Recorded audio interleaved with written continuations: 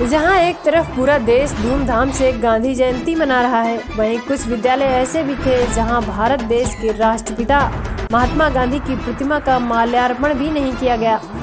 जिस देश में स्वतंत्र होकर घूमते हैं, उसी देश को आज़ाद कराने वाले राष्ट्रपिता का माल्यार्पण करना भी हमारे कुछ विद्यालय के प्रधानाचार्य नहीं चाहते।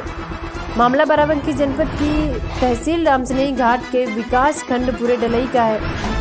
जहाँ मंगूपुर में प्राथमिक विद्यालय के प्रधानाचार्य अजय चौधरी ने ग्राम प्रधान एवं अपने स्टाफ के साथ विद्यालय में झंडारोहण किया। महात्मा गांधी और लाल बहादुर शास्त्री की प्रतिमा पर माल्यार्पण करते हुए स्वच्छता की शपथ ली। प्रधानाचार्य ने विद्यालय में वृक्षारोपण किया और लोगों को अपने आसपास साफ़ सफ़ाई रखने को तथा अधिक से अधिक पेड़ लगाने को कहा। वहीं उसी विद्यालय से कुछ दूरी पर उदय मऊ प्राथमिक विद्यालय में झंडारोहण तो किया गया लेकिन विद्यालय में गांधी की प्रतिमा पर माल्यार्पण नहीं किया गया। जब प्रधानाचार्य लवलेश सिंह से फ़ोन पर इस विषय में पूछा गया तो प्रधानाचार्य ने बिना माल्यार्पण किए झंडा पहराकर चले जाने की बात कही।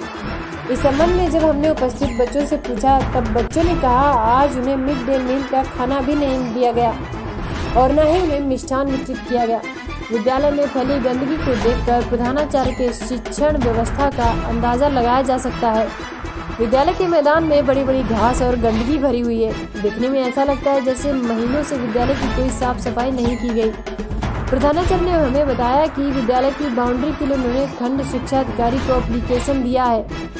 सवाल यह है कि जब ऐसे प्रधानाचार्य देश को आज़ाद कराने वाले राष्ट्रपिता महात्मा गांधी और भारत के द्वितीय प्रधानमंत्री लाल बहादुर शास्त्री के जन्म दिवस पर उनकी प्रतिमा पर माल्यार्पण नहीं कर सकते तो विद्यालय के बच्चों को क्या देशभक्ति सिखाएँगे? राम स्नेही घाट से राघवेंद्र मिश्रा की रिपोर्ट। सूरज। अच्छा कुछ मिला है? आज लड्डू पाए आप लोग? कुछ भी नहीं पाए? आपका क्या नाम है सादान कुछ मिला है आपको स्कूल में? कुछ नहीं दिया सर ने ऐसे ही छोड़ दिया? दिया तुमको मिला कुछ? कुछ नहीं दिया ना? इधर आ गया कि खा दो हाँ ये। हाँ ये ये ये। सबके प्रोग्राम का दी खत्म लियो। ये स्टाइल हाँ मोदी अभी हम लोग